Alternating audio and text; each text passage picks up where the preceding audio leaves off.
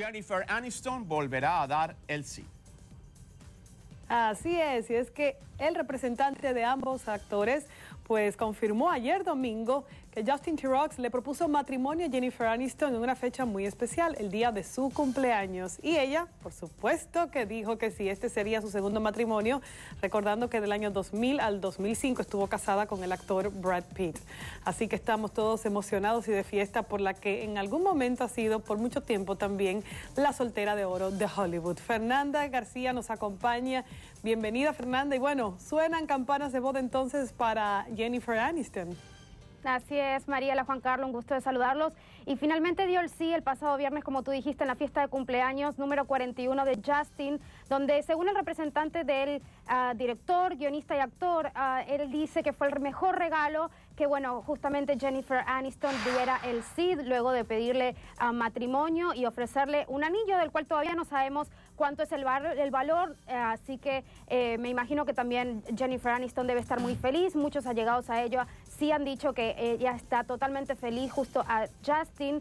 Y bueno, um, no hay muchos detalles, tampoco se sabe todavía cuándo va a ser la fecha de la boda, pero bueno, lo más importante es que final Finalmente, Jennifer Aniston ah, terminó con la pasada historia de Brad Pitt y de todos los tabloides que eh, la hablaran de ella porque justamente tuvo varias relaciones fallidas. Una de ellas fue con ah, un modelo británico, otra fue con el artista de pop ah, John Mayer y otra fue con el actor Vince Vaughn. Así que bueno, lo bueno es que finalmente parece ser que Jennifer Aniston va a volver a dar el sí y va a seguir adelante a pesar de bueno su, su divorcio con Brad Pitt que justamente como tú decías duró del 2000 al 2005.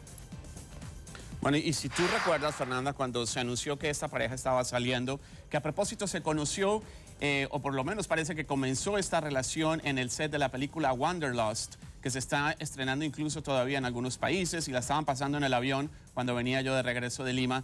Pero la gente se preguntaba al inicio, ¿quién es este Justin Terrux? No lo conocían muy bien, aunque es un famoso cineasta de la ciudad de Nueva York. Ha sido eh, además guionista de diferentes comedias, como por ejemplo que tenía Rock of Ages, que no me había dado cuenta de esto, Tropic Thunder, que es buenísima, y también escribió parte de la segunda parte de Iron Man.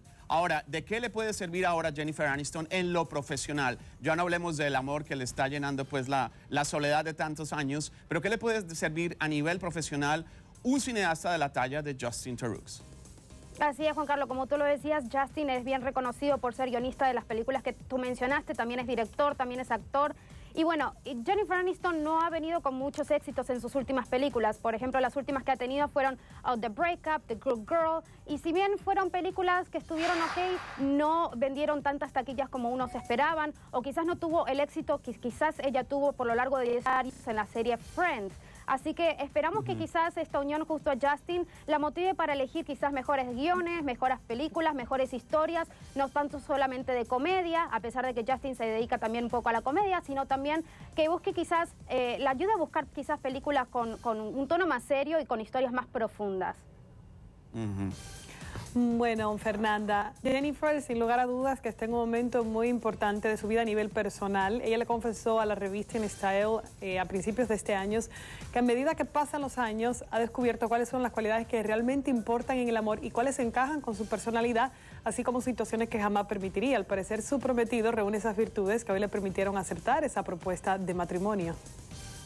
Definitivamente, Mariela, ella siempre ha dicho que eh, ha visto cualidades muy positivas en Justin, que se llevan realmente muy bien, que ella está feliz de que Justin esté en su vida y bueno, también lo que hay que destacar es que un tabloide recientemente había anunciado que supuestamente la pareja se había separado, así que esta noticia de que finalmente se comprometieron el pasado viernes dejó a, muchos de los medios, bueno, casi mudos porque habían dicho que se habían separado justamente porque Jennifer Aniston no estaba lo suficientemente segura de comprometerse para una nueva relación y dar el sí. Así que bueno, bien por los dos, pero también ah, algo que nos había llamado la, atención es que ellos estaban eh, viviendo juntos en un departamento en Beverly Hills, en una casa donde pagaban 40 mil dólares de renta al mes y luego decidieron comprar su primer casa juntos por 22 millones de dólares. Así que esto obviamente nos dio algunas pistas como para pensar que justamente iban a terminar en el compromiso y bueno, más adelante en finalmente eh, la boda. Tú mencionabas esos odiosos rumores de las revistas sensacionalistas, donde siempre ha estado en portada, y tú también lo mencionabas, Jennifer Aniston no ha sido una de las actrices más interesantes que tiene Hollywood. Sí es buena persona y es guapísima, pero ¿tú crees que van a terminar los famosos titulares sensacionalistas alrededor de Jennifer Aniston que durante tantos años y todavía lo seguimos viendo semana tras semana de si todavía estaba extrañando a Brad Pitt, su ex marido?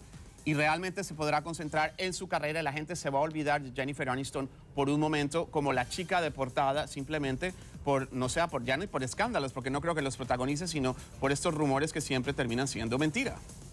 Así es, Juan Carlos. Ella siempre ha estado envuelta en rumores respecto a Brad Pitt y Angelina Jolie. Y también fue una de las artistas que más portadas tuvo por supuestamente estar embarazada, cosa que hasta el momento evidentemente no, mm. no lo ha estado. Pero yo no creo que todavía eh, terminen los rumores, por lo menos en, este, en estos momentos o en unos meses, porque, porque muchos de los tabloides me imagino que saldrán diciendo ah, lo que dijo supuestamente Brad Pitt del compromiso, lo que dijo Angelina Jolie, o quizás diciendo que Angelina Jolie está contenta de esta nueva etapa en la, en la vida de Jennifer para asegurarse que no le va a molestar quizás a Brad Pitt. Ah, yo me imagino que van a seguir inventando historias y diciendo muchas cosas que quizás no son ciertas, otras sí las pueden ser, pero me imagino que por un par de meses va a seguir siendo portada estos tabloides, pero tú sabes cómo es esto. Después de que se case, ahí van a venir después los rumores de que cuando está embarazada y cuando vienen los hijos.